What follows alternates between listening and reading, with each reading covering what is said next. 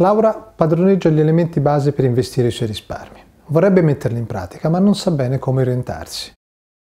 Emilio, vorrei investire i miei risparmi per aumentare le mie disponibilità economiche. Non vorrei però espormi al rischio di perdite troppo elevate. Sai darmi qualche consiglio pratico? Cara Laura, il primo suggerimento che ti posso dare è di guardare alla tua ricchezza nel suo complesso. Tipicamente una persona avrà un reddito che può essere più o meno variabile a seconda che sia dipendente o lavoratore autonomo o imprenditore. Poi potrebbe avere una proprietà immobiliare. Infine avrà i proventi della gestione dei suoi risparmi.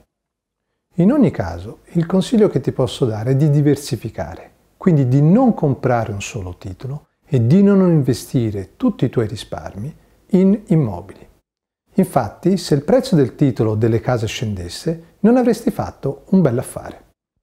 In secondo luogo, ti consiglio di guardare alle tue entrate non finanziarie. Se sono molto variabili, sii cauta nell'assumerti altri rischi nell'investimento finanziario. Infine, ti consiglio di valutare attentamente l'orizzonte temporale del tuo investimento. Se è sufficientemente lungo, puoi anche assumerti rischi rilevanti nell'investimento finanziario, in quanto su un orizzonte lungo puoi bilanciare eventuali perdite iniziali. Se il tuo orizzonte è breve, invece, ti consiglio di prenderti pochi rischi. Mi sembra tutto molto complesso. In particolare, trovo difficile seguire il tuo consiglio di valutare un investimento considerando la ricchezza nel suo insieme.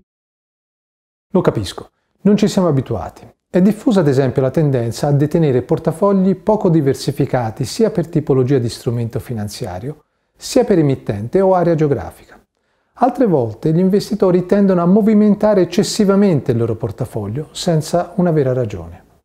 Alla base di questi comportamenti vi è la tendenza degli individui ad elaborare le informazioni finanziarie e ad investire i propri risparmi utilizzando regole pratiche che non sono il frutto di un approccio che potremmo dire pienamente razionale. Una di queste regole è nota come contabilità mentale. Secondo questo approccio, le scelte di investimento sono eseguite tramite un sistema di conti mentali, nei quali gli individui tendono ad allocare la loro ricchezza creando differenti budget per le spese finalizzate al raggiungimento di obiettivi diversi. Si segue in qualche modo la logica dei compartimenti stagni. Ti faccio un esempio per capire il problema. Sì, sarebbe utile per capire meglio. Immagina di aver deciso di andare a teatro. Il costo del biglietto che tu hai già acquistato è 50 euro. Una volta arrivata a teatro ti accorgi di aver perso il biglietto. Devi quindi acquistarne un altro. Saresti disposto a pagare ulteriori 50 euro per un nuovo biglietto? Non so, ma perché questa domanda? Ti risponderò a breve. Prima però lascia che ti ponga un altro quesito. Sei in una situazione simile alla precedente.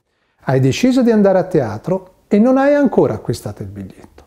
Quando arrivi in biglietteria, ti accorgi di aver perso una banconota da 50 euro.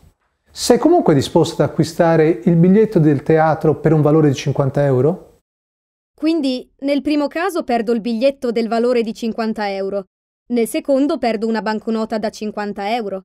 Non è la stessa cosa? Non per tutti. Alcune persone intervistate su questi due quesiti hanno risposto che non acquisterebbero il biglietto nel primo caso, cioè quando hanno perso il biglietto, mentre lo acquisterebbero di nuovo nel secondo caso, cioè nel caso in cui hanno perso la banconota.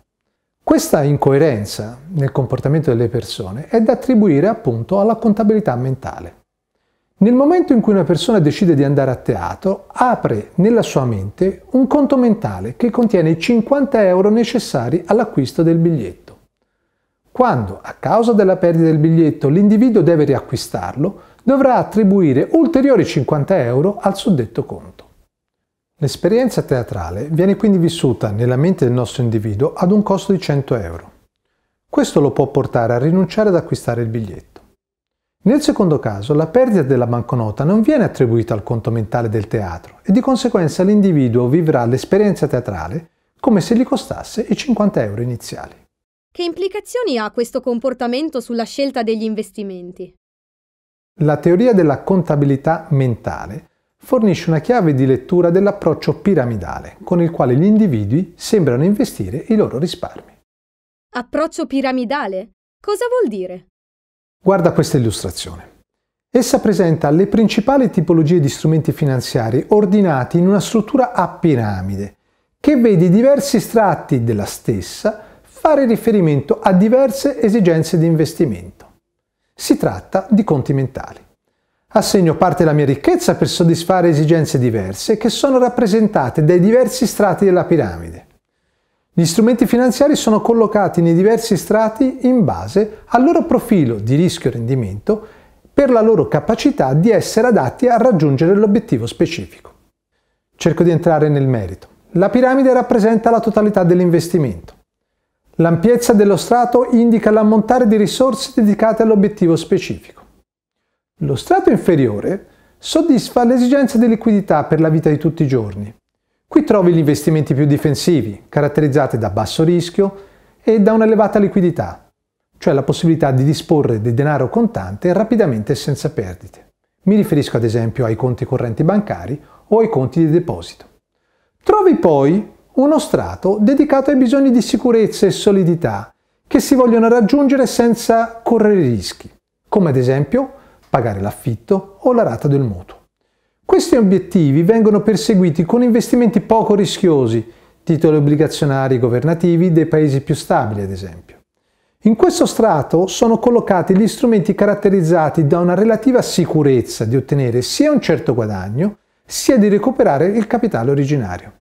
E gli strati più alti a cosa corrispondono? Man mano che si procede verso l'alto, gli strumenti diventano maggiormente aggressivi e gli obiettivi sono diciamo più speculativi.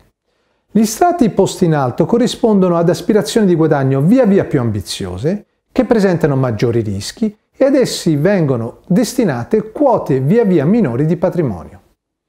Gli strumenti finanziari collocati in questi strati sono caratterizzati da rendimenti attesi più elevati, ma anche da una maggiore volatilità.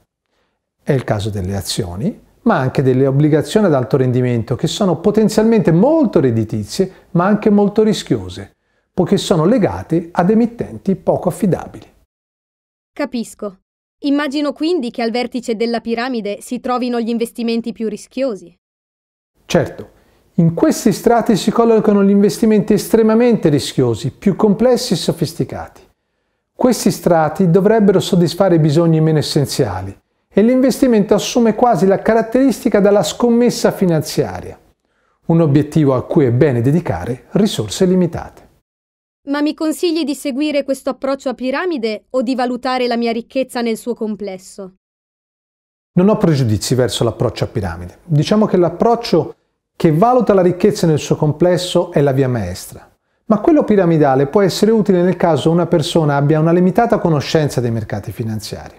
La piramide degli investimenti può essere utilizzata, infatti, per seguire la logica dei conti mentali, questo dovrebbe favorire scelte oculate, evitando che le perdite derivanti da investimenti molto rischiosi intacchino i fondi destinati a soddisfare i bisogni ritenuti essenziali. Per contro, gli effetti negativi di questo approccio sono legati alla segmentazione nella gestione dei risparmi per soddisfare bisogni diversi, inconveniente che può portare a scelte incoerenti con l'obiettivo di ridurre il rischio. Ho capito. Grazie.